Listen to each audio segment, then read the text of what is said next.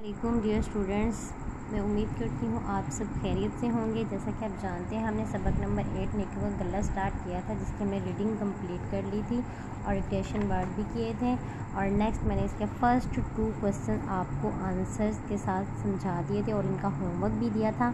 इससे अगला third question है हमारे पास, नेकी के हवाले से हमें क्या दुआ करनी चाहिए? नेकी के हवाले से हमें अल्लाह से ये दुआ करनी चाहिए।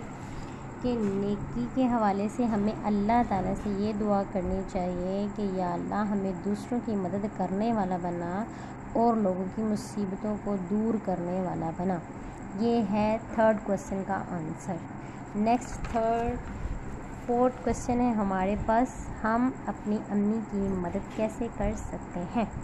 इसका आंसर है हम अपनी अम्मी की मदद घर के मुख्तलिफ़ कामों में कर सकते हैं। मिसाल के तौर पर, अगर अम्मी जान किचन में काम कर रही हैं तो उनका हाथ बटा सकती हैं और सफ़ाई करने में उनकी मदद कर सकती हैं। फाइव क्वेश्चन है हमारे पास। नेकियों में इजाफे से क्या होता है? नेकियों में इजाफे से अल्लाह ताला खुश होता है और इन नेकियों की वजह से हमें जन्नत हासिल होगी। ये तीन क्वेश्चन के आंसर जो मैंने आपको अभी बताए हैं, ये आपने होमवर्क करना है इनका और इनको अच्छे तरीके से आपने याद करना है।